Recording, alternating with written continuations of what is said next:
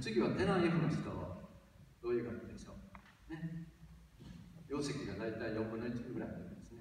じゃあ、音を聞かせてください。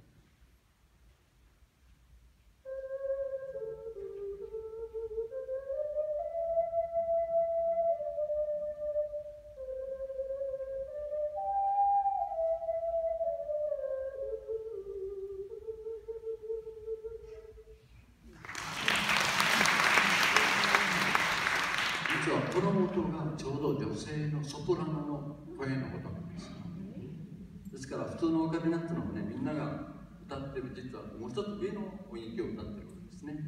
ちょうど中間のアルト C はい。あ見せてください。あ赤いオカリナです。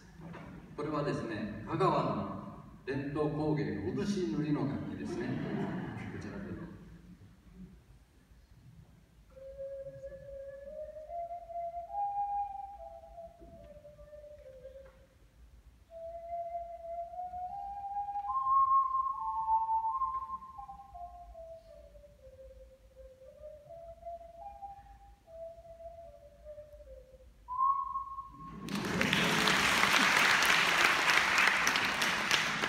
金ですからねいろんな色ができます。当然金のですね色もありますし緑もありますし結構皆さん嬉しいね打たれてると思います。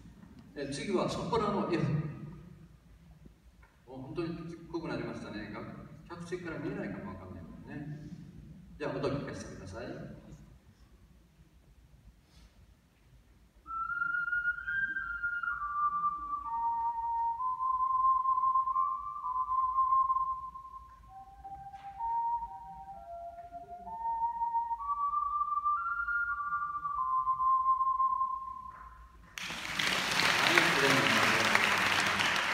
次はソプラノの C っていうのがあります。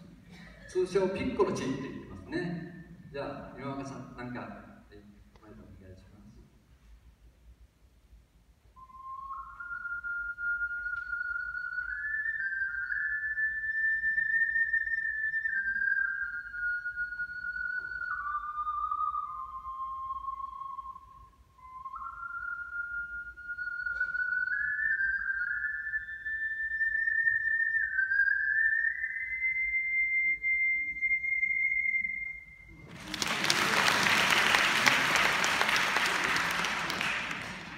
はもっと小さいのがあります。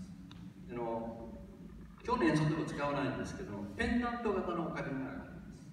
ピコリーナと言います。どうぞそこは佐藤先生が作ってますね。どういう音がします？